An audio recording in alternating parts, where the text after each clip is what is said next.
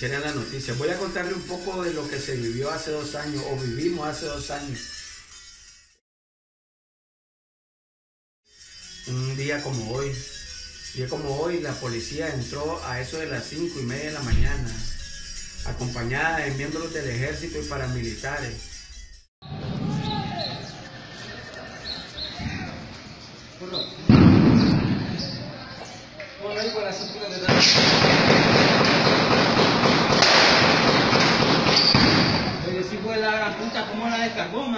Porque en muchas ocasiones ya ellos habían querido ingresar a Monimbó y no podían.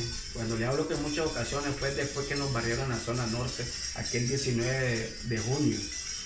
Pero Monimbó siempre firme, siempre en, la lucha. Monimbó aguerrido, aguerrido.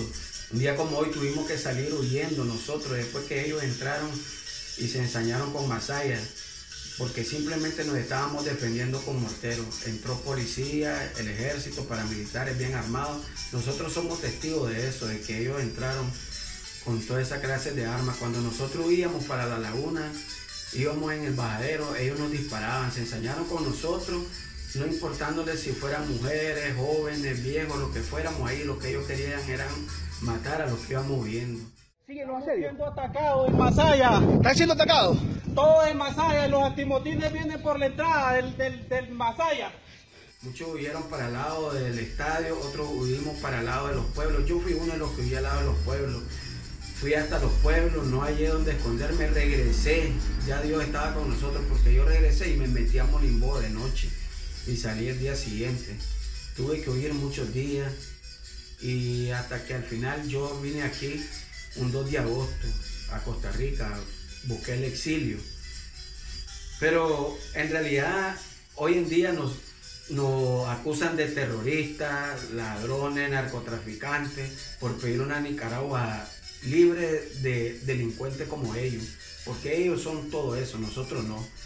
Muchas familias creerán que vivir el exilio es vivir la gloria, pero no, vivimos en una oscuridad de ver que hay familias que no tienen de vivir, que no tienen que comer, yo tengo la dicha de tener donde vivir, pero sí he tenido la, dura separación de mi familia, mis hijos, amigos.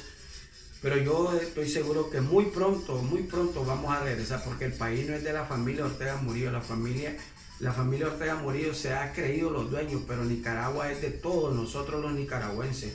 Vamos a regresar muy pronto, el exilio está muy pronto a regresar. Viva Masaya, viva Nicaragua pronto libre. Corazón corazón, corazón.